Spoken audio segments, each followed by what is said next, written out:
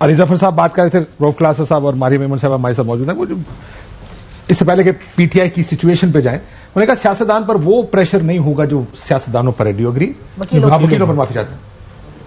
अब एक और भी बड़ी अहम बात थी वो ठीक है मान लिया कि उनके अपने क्योंकि उनके बार्स हैं एसोसिएशन हैं जुडिशरी के साथ बड़ा अच्छा लाइन दान रोज की बुनियादों में मिलना जुलना होता है।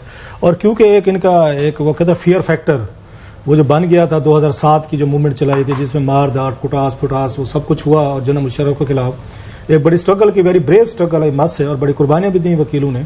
बाद में जो कुछ हुआ, खैर, वो एक अलहदा कहानी है। सो उनका एक ना हवा बना हुआ है, एक उनका खौफ है। बाद में हमने देखा, अदालतों में उन्होंने जजेस की फेंटियाँ लगाई मुकलीन की भी लगाई, पुलिस की भी लगाई।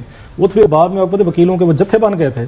तो मेरा ख्याल उनके जहन में वही है कि वही शायद 2007-8 वाला एक हम उसको यूज़ कर सकते हैं। वकील आएँगे तो इनको जमानतें लेने में भी आसानी पड़ेगी। अगर इनको पकड़ लेंगे तो चार पाँच बंदे थाने भी इनके साथ चले जाएँगे।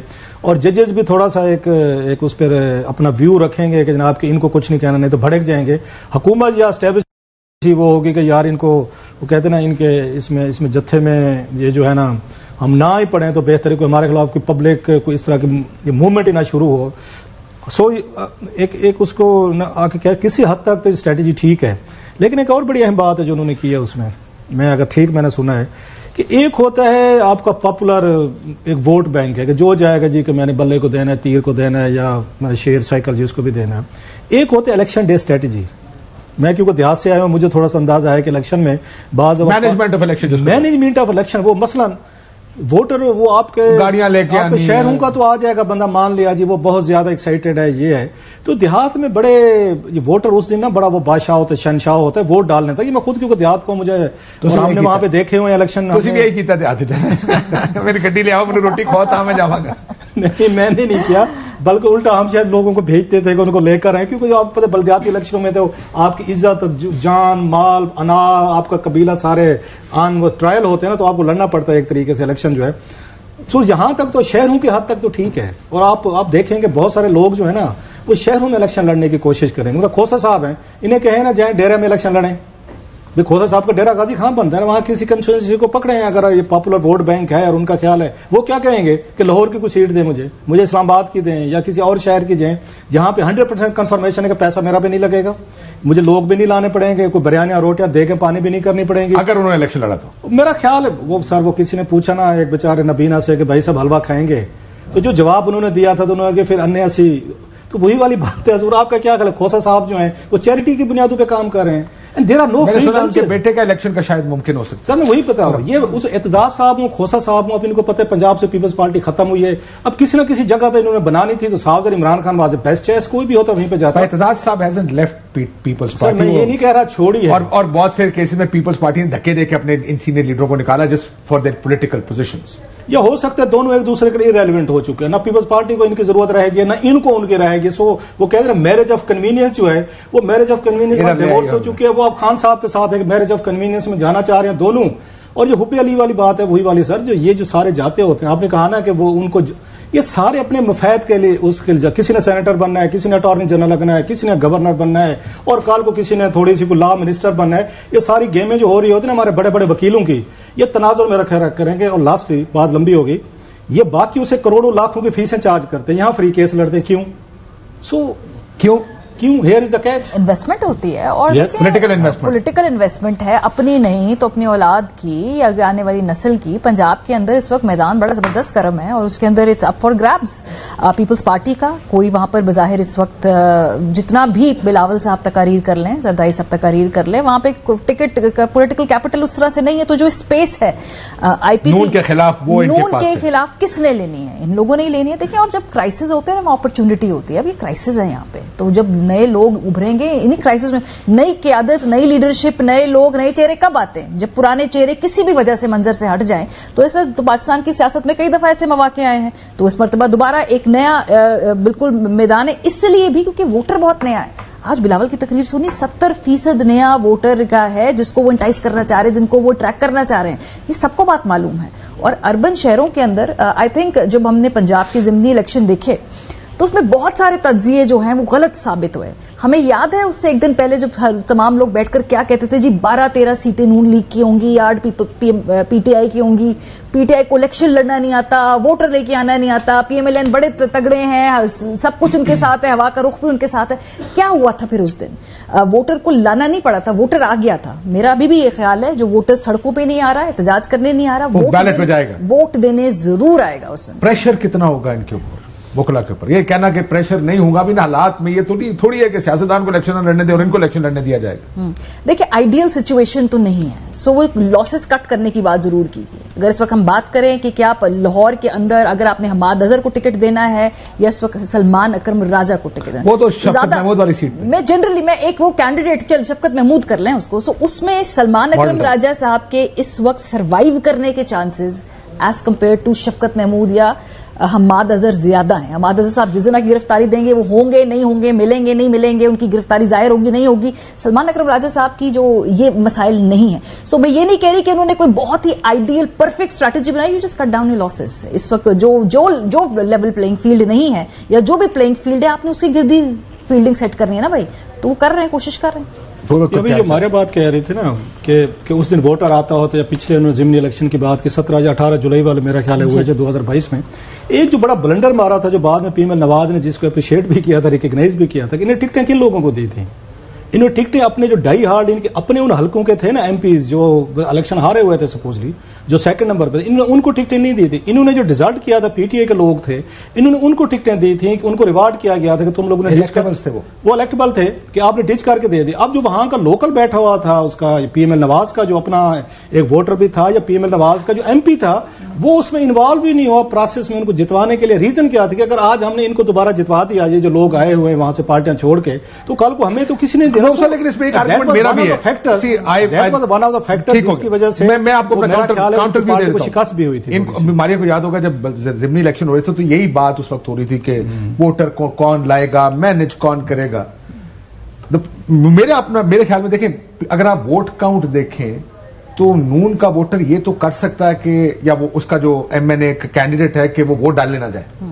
लेकिन अगर आप दूसरे के वोट देखें तो वहाँ पर डीजी खान में कोई लाख के करीब जाके हर जगह 80% पे turnout। टर्नआउट्स में आप 80% टर्नआउट देखें सो turnout। लोगों ने जाके वोट डाला भी है इधर शायद ना भी डाला हो लेकिन नून का वोटर पीटीआई को वोट नहीं डालेगा मार्जिन ऑफ़ डिफीट जरा देखें इतने बड़े मार्जिन ऑफ़ डिफीट नहीं थे जलसे जो थे खान साहब ने भी बड़े जलसे किए मरियम नवाज़ साहबा के भी बड़े जलसे थे सो जलसों को अगर आप जाए ना दोनों का उन्नीस बीस का फ़र्क होगा ज़्यादा कोई बड़ा बिग फ़र्क नहीं था और मार्जिन है अगर मैं गलत नहीं कह रहा मार्जिन ऑफ़ डिफीट भी कोई उतने हज़ारों में नहीं था। एक होता है पचास हज़ार साठ हज़ार लेकिन but it very but tough कितने वोट तरीके इंसाफ ने निकाले अपने टिकट पे साउथ सेंट्रल पंजाब से?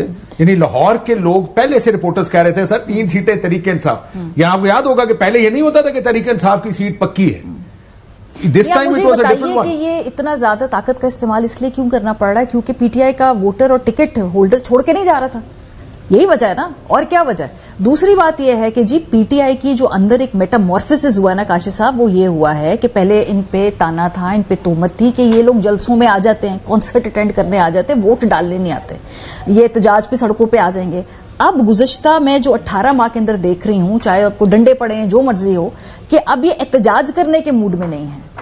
अब ये इंतज़ार कर रहे हैं इलेक्शन डे का जैसा कि उन्होंने जमनी इंतखाब के अंदर भी किया और अभी भी इलेक्शन के लिए वो इंतज़ार कर तो वो जो जैसे पीएमएलएन के बारे में कहते थे कि इनका वोटर बार सड़कों जलसे पे में नहीं आता वोट डाल। आई थिंक पीटीआई के अंदर भी ये इंटरनल शिफ्ट हुआ है कि अब वो शायद बाहर ना आए लेकिन वो वोट देने के लिए ज़रूर आएँगे। एटलीस्ट ये मेरा एनालिसिस है और एक इंटेलिजेंट गेस भी है जो आप लोगों से बातचीत तो करते हैं। पिछले दो इलेक्शन ग्यारह कौमी असेंबली के और बीस सुबाई के ये ये साबित कर चुके हैं। मतलब दो सौ बहत्तर मेरा गलत नहीं कह रहा दो सत्तर बहत्तर सीटों में आपने एमएनए है ना पूरे के पूरे। अब कितने वकील इकट्ठे करेंगे? बीस तीस चालीस ऐसा कर लेंगे।